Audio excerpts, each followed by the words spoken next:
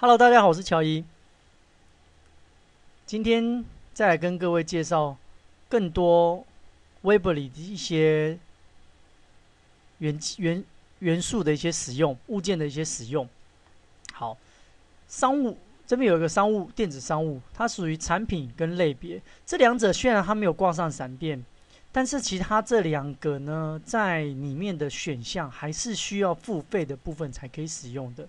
那它这边只是呈现出你的商品的类别啊，或是你的类别内容有什么，就像像是你今天你有很多文章，你文章的类别是什么？有点类似部落格的方式，将着你的商品兜起来，变成一个群组一个群组。那因为这部分是需要付费使用，就不在这边做介绍。好，这边有个叫引用文字块。英文字块是什么呢？我们常常在看文章的时候，会看到有些人，哎，他上面会说了很多内容，标题完会说了很多内容，说的内容都会有个哎这样引用文字，引用文字完之后，后面又继续说他的一些相关内容。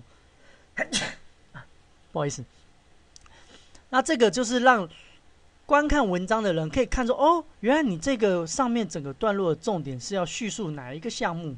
好，这是一个段落的一个使用。好。社交媒体这个好用，好用的地方是在于它可以帮我们链接所有你的社交社群软体的一些 icon。那这些 icon 呢，你可以依照你的条件去做设定。比如说，你这边填上你的 Facebook 连线是名称是谁，你这边填上你的 Twitter 是谁，你这边连上你的 Instagram、你的 LinkedIn 这些内容，它就可以帮你带上来。那如果你今天不使用呢，你就显示不显示，它就不会有了。那自然它就在这个名选单上被拿掉。那如果底下哎你有你想要用的，你想啊 YouTube 你想用，你这边就按显示，它就帮你带上来了。而这边前后的顺序，你就直接点击左键之后，呃，重新排序。你可以点下重新排序的时候，点击它就可以做拖拉的部分，去决定它的先后顺序。好，已完成，它就帮你重新排序过，很方便的一个一个使用的一个那个社群软体的一个 icon 的一个使用使用的按键，这非常常用。我们可能通常会在写过很多文章的时候，会在这边填上呃联络资讯啊，又如何联络我啊？比如说，你会在网站上面秀这些内容，提供给人家做联系联系使用的。好，这是。社群媒体的图示，这个物件，好，回复表单跟调查这边我们就只做一个介绍就好，因为其实这两者跟我们前面课程讲前面文影片介绍的联系表单意思都是一样的，只是它变得比较多，项目比较多。好，举例是比如说像这个调查，它可能下面会有一些叙述的内容啊，但其实这些东西你点击它之后，你都可以依照这些条件。跟你的摆放，还有这基本的一些本文内容去做一个类似问卷调查的部分，最后提交一样会将这所有的资讯传送到你的你的 email 去，那就依照你的查看内容是什么，那表单的选项这边就是，比如说这是属于调查，你可以这边可以另命名的另外一个名称，你可能会有。